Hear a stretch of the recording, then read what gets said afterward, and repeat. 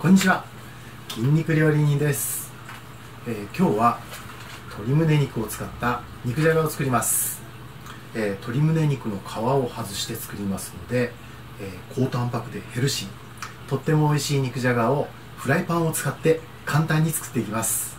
それでは早速作ります。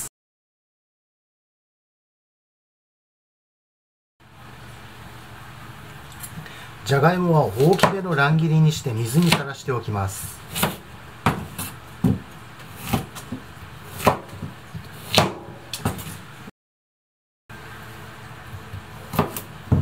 人参は小さめの乱切りです。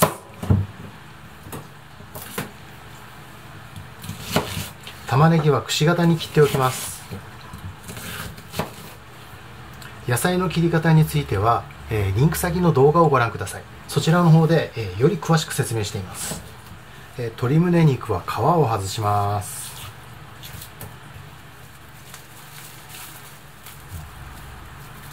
外した皮はラップで包んで冷凍保存しておきます。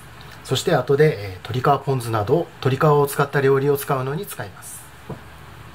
余分な油を切り取ります。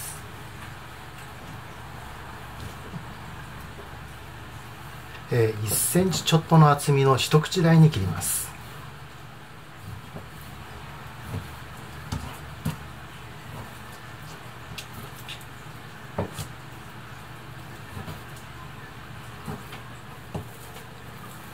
えー、切ったらラップをかぶせます。そしてすりこぎや綿棒。瓶の底とかで、えー、軽く叩きます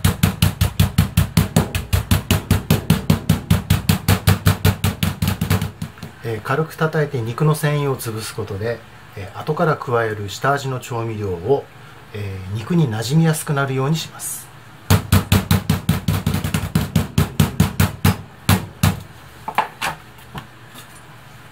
えー、叩いて肉が伸びたらポリ袋に入れます。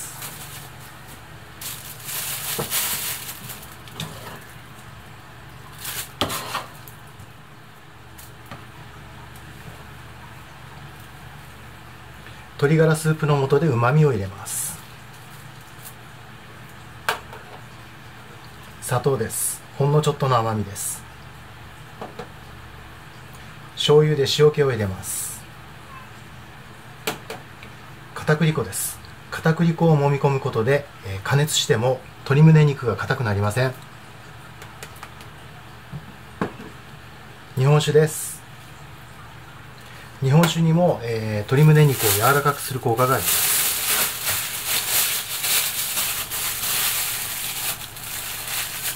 口を閉じて揉んでなじませます。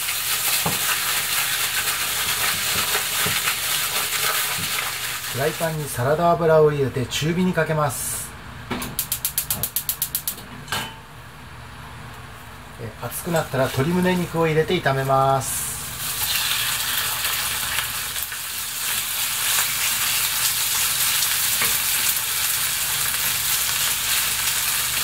えー、鶏胸肉に焼き目をつけます。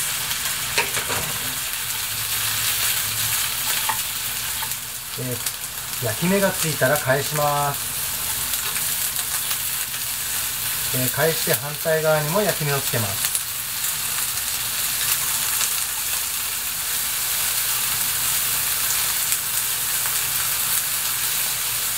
反対側に焼き目がついたら一度取り出します。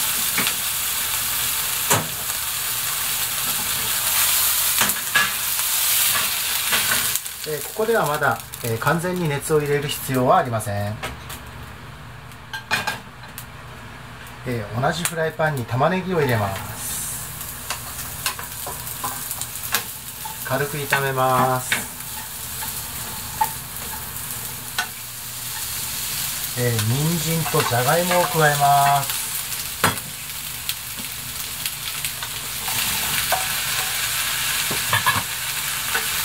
軽く炒めます、えー、軽く炒めてじゃがいもの表面にちょっとツヤが出てきたかなというところで、えー、砂糖を入れます。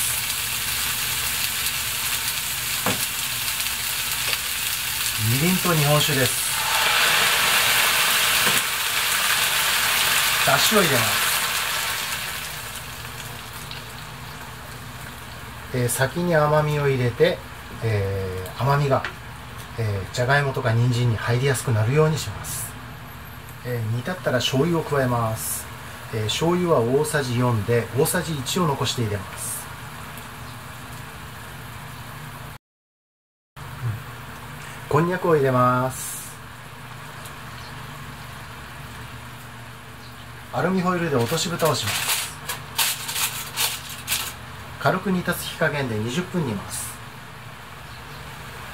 20分煮ました、えー、ここで鶏胸肉を戻します、えー、もしもここで煮汁が、えー、ほとんど残ってないという時にはお湯を足してください、え鶏胸肉を戻します。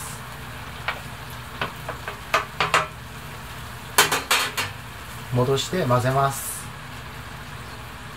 木べらを使うといいです。で鶏胸肉は、えー、熱が完全に入ってないのでここで熱を入れます。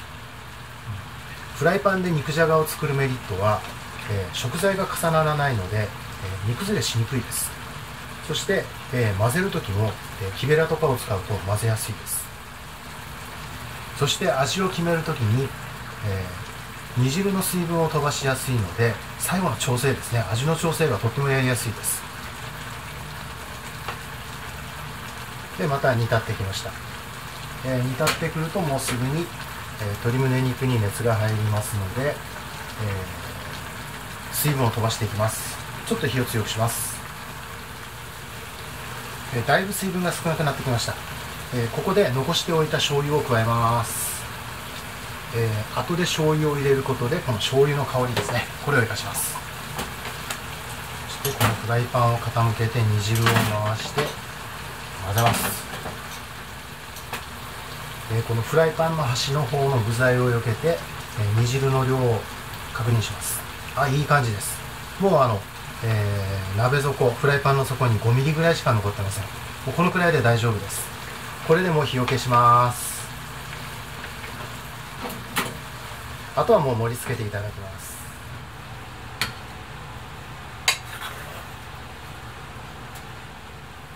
彩りに冷凍枝豆を散らします。鶏胸肉の肉じゃがの完成です。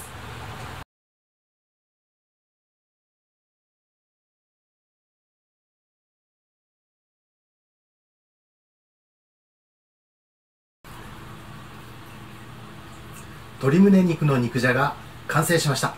それでは試食タイムいきます、えー、肉じゃがですからじゃがいもからですね。うん、えー、ホクホクとした食感のシンバレーションですね。もう味が染みててこういけますね。はい。であの鶏のうまみがやっぱ若干入っててやっぱ豚肉の肉じゃがとはちょっと違うような感じになってます。いけますこれは、はい、そしてそして鶏胸肉です。で鶏胸肉は普通に加熱したら、えー、パサパサ硬くなりますよね。ですが今日のレシピはそうならないように、えー、下味と片栗粉を揉み込んで、えー、焼いてから作りました。食べてみます。うん。鶏胸肉が柔らかジューシーでそしてあの焼き目の香ばしさもあるんですよね。あってそして、えー、この肉じゃがのそのうまみを吸ってですね。うまいですね。こんなに美味しいとやっぱり飲みたくなりますね。